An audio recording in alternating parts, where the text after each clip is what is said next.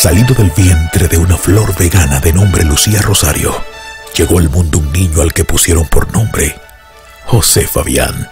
Cuando apenas caminaba, su madre decidió cambiar de ciudad y es así como llega a Santiago de los Caballeros. El barrio Los Pepines fue el escenario para los primeros capítulos de un guerrero de paz y amante de la superación personal. Las limitaciones económicas no le impidieron crecer en todos los sentidos. Para él, hoy no es ayer, pues la protagonista de sus días quedó sepultada en una tumba fría de un cementerio. Aún recuerdo las huellas de dolor reflejadas en su rostro aquella tarde de sol, pero hoy su Santa Madre está feliz de haber dado al mundo un ser humano con las condiciones de José Fabián. Su ejemplo se puede ver en la familia creada por el amor entre él y su esposa Mercedes Caimare. Ambos entregaron a la sociedad los frutos de ese matrimonio.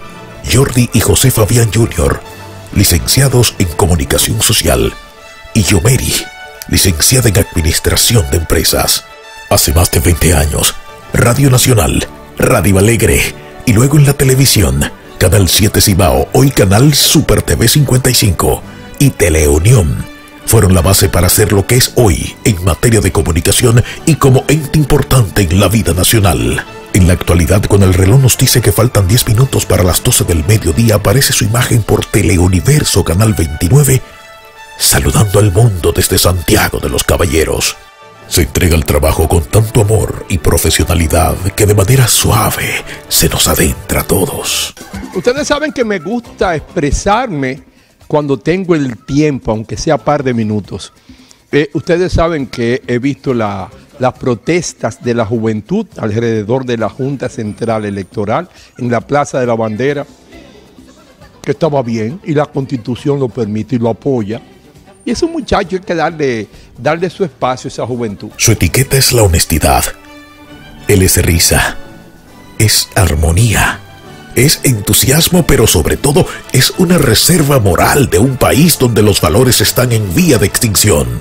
Respetuoso de Dios, las leyes de su país y su sagrado hogar, levantado con muchos sacrificios. Eh, gracias a Papá Dios, nuestro líder y guía, donde quiera que nos encontremos, a Él las gracias y como siempre agradecido, como dice el Evangelio de hoy, agradecer sobre todo, que es algo muy importante, la fe, la gratitud, qué bueno. Hoy en vida entrega a sus hijos la mejor herencia, la que ha cultivado por años.